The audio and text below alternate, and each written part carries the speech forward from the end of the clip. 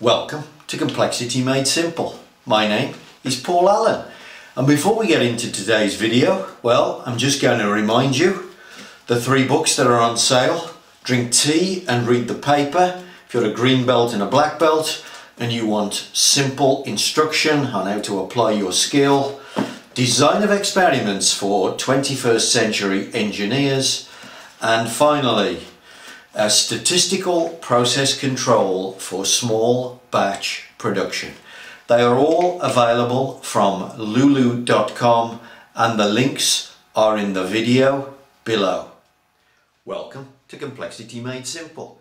My name is Paul Allen and the subject of today's video newsletter, well we're going to talk about control plans, proper control plans. Okay, so that's the subject of today's video. We're going to have a look at control plans.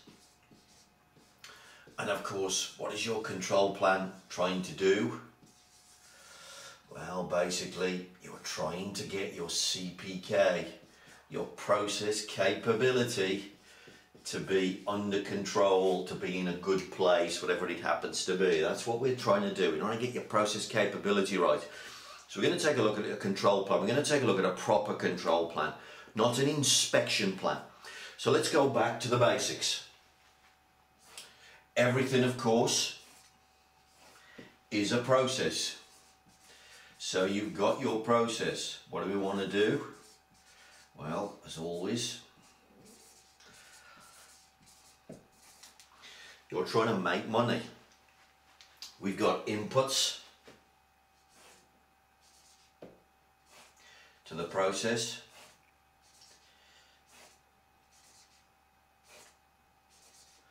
And we've got outputs, things that the customer is interested in, tolerances, specifications, could be cost, um, could be strength, all sorts of different features that the product is trying to achieve to keep your customer happy.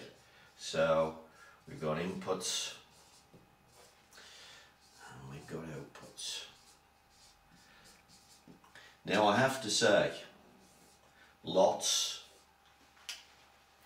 lots of control plans get obsessed with the output and what they decide to do is to measure it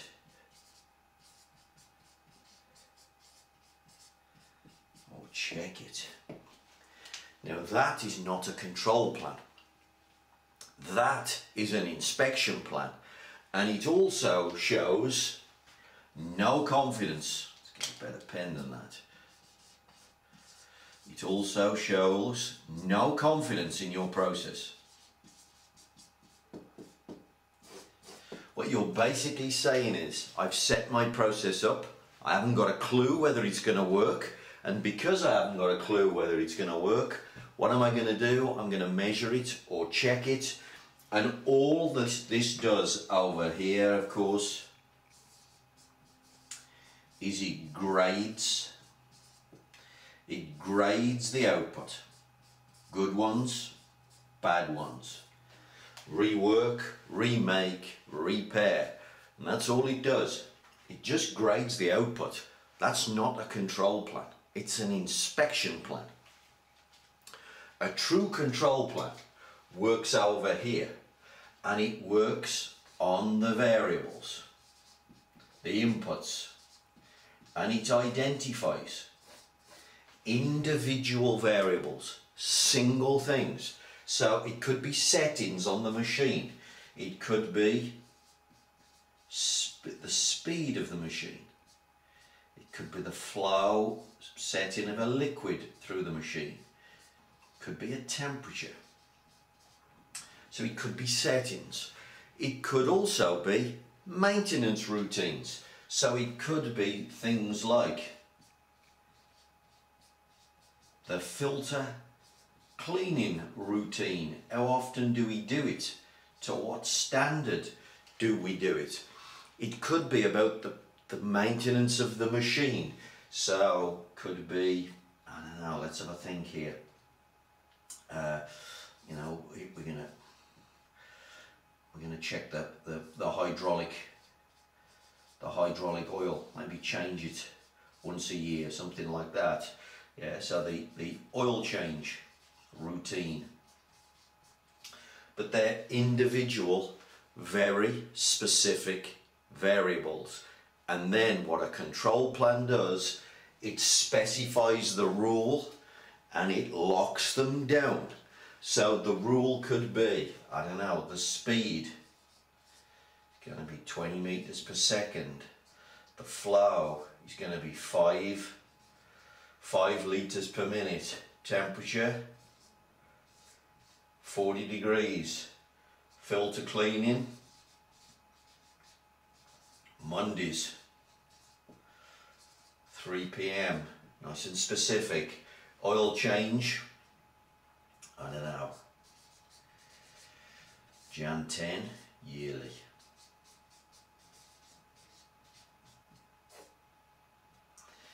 That sort of thing. And that is a control plan. Because if I adhere to those five things, I only put five things, in theory, of course, there would be hundreds of these. But if you adhere to those five things, those outputs work. That's a control plan. What a control plan does, it doesn't measure it or check it. What it does is it guarantees it. Guarantees the output. That's a true control plan. It shows process knowledge. You understand your process so well that if you fix those five things, all your customers will be happy. That's control. Now you have the process under control. Now, of course, what you're supposed to do is you're supposed to make this flow out of your FMEA process. That's what an FMEA is for. It's to create the initial control plan. If you used your FMEAs properly, that's exactly what they do. They would also, of course, guarantee the process capability. So this should flow out of your, it should flow out of your FMEA. What would also be linked to this? Well, of course, now you've got fantastic variable control You've got variable control that what does it do? It makes piles and piles of cash. That's what it's designed to do. What's the next thing you should do? Well, you should plug in ISO 9000 into this thing. So your ISO 9000 audit, what should it check? It should check the control plan that's come out of your FMEA if your ISO 9000 audit, make sure that you adhere to those rules in all of your processes. What's your ISO 9000 audit doing? It makes money because that's what ISO 9000 is supposed to do. It's not supposed to put a certificate on the wall to impress your customers. That is a pathetic thing to do. Come on, wake up. This will make piles of cash if you link it to the inputs which are falling out the FMEA which guarantee the outputs. That is how you create a proper control plan. Now, what document you use for this, how you structure it, how you want to how you want to provide information.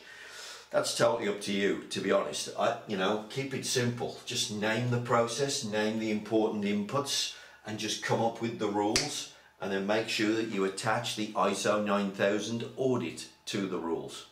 And all of those things, FMEA, control plan, ISO 9000, they make money. That's what they're supposed to do. They are not supposed to bury you in paperwork. If this and this and the control plan is not about inputs, it's not about making money, just bury you in paperwork and you'll never do it properly.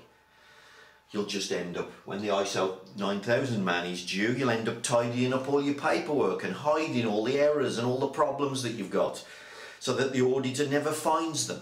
I'm sure you never do that, but it's a complete waste of money. If you're a senior manager watching this, don't be so pathetic. Get your ISO 9000 to make money.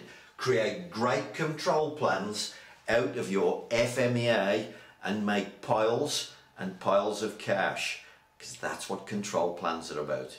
If you've got any comments about this video, please leave them in the uh, appropriate space uh, below this video. That would be fantastic. You could also, if you want to know more, buy my book, Drink Tea and Read the Paper. But if you do nothing else, folks, please come up with a great control plan that makes piles and piles of money. Thank you.